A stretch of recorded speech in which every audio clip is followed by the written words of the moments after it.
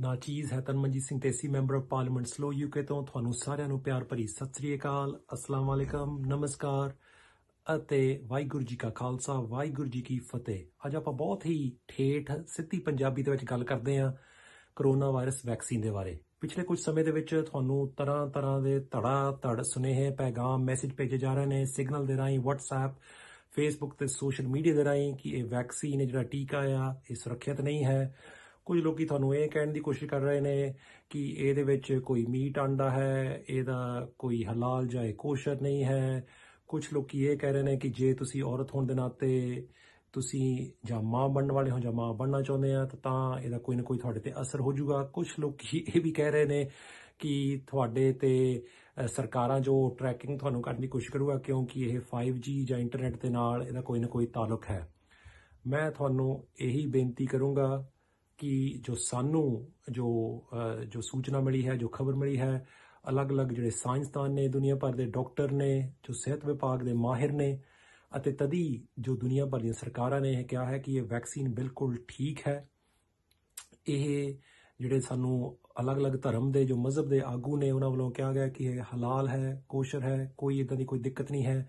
ਤਾਂ ਜੇ ਤੁਸੀਂ ਮੇਰੇ ਵਾਂਗ ਵੈਸ਼ਨੂ ਹੋ, ਵੈਜੀਟੇਰੀਅਨ ਹੋ, ਤਾਂ ਇਹਦੇ ਵਿੱਚ ਕੋਈ ਮੀਟ ਆਂਡਾ ਨਹੀਂ ਹੈ। ਤੁਹਾਡੇ ਲਈ ਢੁਕਵੀਂ ਹੈ। ਤੇ ਜੇ ਤੁਸੀਂ ਔਰਤ ਹੋਣ ਦੇ ਨਾਤੇ ਇੱਕ ਬੀਬੀ ਹੋਣ ਦੇ ਨਾਤੇ ਤੁਸੀਂ ਜਾਂ ਇਸ ਸਮੇਂ ਮਾਂ ਬਣਨ ਵਾਲੇ ਹੋ ਜਾਂ ਅੱਗੇ ਜਾ ਕੇ ਬਣਨਾ ਚਾਹੁੰਦੇ ਹੋ, ਤਾਂ ਵੀ ਇਹਦਾ ਕੋਈ ਤੁਹਾਡੇ ਤੇ ਮਾੜਾ ਅਸਰ ਨਹੀਂ ਹੈ। ਅਤੇ ਇਹ ਤਾਂ ਗੱਲ ਬਿਲਕੁਲ ਪੱਕੀ ਹੈ ਕਿ ਕੋਈ ਜਿਹੜਾ 5G ਦਾ ਜਾਂ ਇੰਟਰਨੈਟ ਦਾ ਕੋਈ ਇਹਦੇ ਨਾਲ ਕੋਈ ਨਾਤਾ ਨਹੀਂ ਹੈ। ਸਰਕਾਰਾਂ ਤੁਹਾਡੇ ਅੰਦਰ ਕੋਈ ਮਾਈਕਰੋਚਿਪ ਪਾਉਣ ਦੀ ਨਹੀਂ ਕੋਸ਼ਿਸ਼ ਕਰਨ ਚਾ- ਚਾਹ ਰਹੀਆਂ। ਜੇ ਤੁਹਾਨੂੰ ਉਹ ਟਰੈਕਿੰਗ ਕਰਨਾ ਚਾਹੁੰਦੀਆਂ ਤਾਂ ਜਿਹੜਾ ਤੁਹਾਡਾ ਇਹ ਮੋਬਾਈਲ ਫੋਨ ਆ, ਇਹੀ ਇਹਨਾਂ ਲਈ ਕਾਫੀ ਆ। ਸੋ ਅਖੀਰ ਦੇ ਵਿੱਚ ਮੈਂ ਤੁਹਾਨੂੰ ਇਹੀ ਬੇਨਤੀ ਕਰੂੰਗਾ ਕਿ ਦੇਖੋ ਕੁਝ ਵਿਅਕਤੀਆਂ ਨੂੰ ਕੋਈ ਨਾ ਕੋਈ ਮਾੜਾ ਅਸਰ ਹਰ ਦਵਾਈ ਦਾ ਹੋ ਜਾਂਦਾ ਹੈ ਜੇ ਕੁਛ ਹੀ ਤੁਸੀਂ ਕੋਈ ਵੀਡੀਓ ਹੈ ਜਾਂ ਦੇਖ ਲਿਆ ਕਿ ਕੋਈ ਸਾਈਡ ਇਫੈਕਟ ਹੋ ਗਿਆ ਇਹ ਤਾਂ ਤਕਰੀਬਨ ਹਰ ਦਵਾਈ ਦੇ ਕੁਝ ਚੋਣਵੇਂ ਵਿਅਕਤੀਆਂ ਨੂੰ ਹੁੰਦੇ ਨੇ। ਪਰ ਇਹਦਾ ਮਤਲਬ ਇਹ ਨਹੀਂਗਾ ਕਿ ਸਾਰੀ ਦਵਾਈ ਹੀ ਖਰਾਬ ਆ।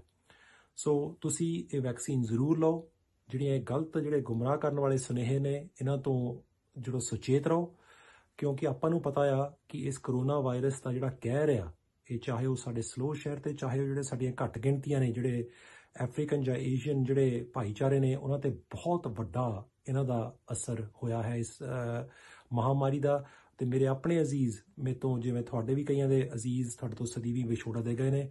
ਸੋ ਆਪਾਂ ਆਪਣੀਆਂ ਜਾਨਾਂ ਬਚਾਉਣ ਲਈ ਆਪਣੀਆਂ ਅਜ਼ੀਜ਼ਾਂ ਦੀਆਂ ਜਾਨਾਂ ਬਚਾਉਣ ਲਈ ਅਤੇ ਜੋ ਆਪਾਂ ਪਹਿਲਾ ਵਰਗਾ ਜਿਹੜਾ ਮਾਹੌਲ ਸਿਰਜਣ ਲਈ ਜਿੱਥੇ ਆਪਾਂ ਦੁਖੀ ਜਾਂ ਗਮੀ ਦੇ ਮਾਹੌਲ ਦੇ ਵਿੱਚ ਇੱਕ ਦੂਸਰੇ ਦੇ ਸਮਾਗਮਾਂ ਦੇ ਵਿੱਚ ਸ਼ਿਰਕਤ ਕਰ ਸਕਦੇ ਸੀ, ਉਹੋ ਜਿਹਾ ਮਾਹੌਲ ਸਿਰਜਣ ਲਈ ਇਹ ਵੈਕਸੀਨ ਦਾ ਟੀਕਾ ਜ਼ਰੂਰ ਲਵਾਓ। ਤੁਹਾਡਾ ਬਹੁਤ ਬਹੁਤ ਮੈਂ ਧੰਨਵਾਦੀ ਹੋਵਾਂਗਾ ਬਹੁਤ ਬਹੁਤ ਮਿਹਰਬਾਨੀ।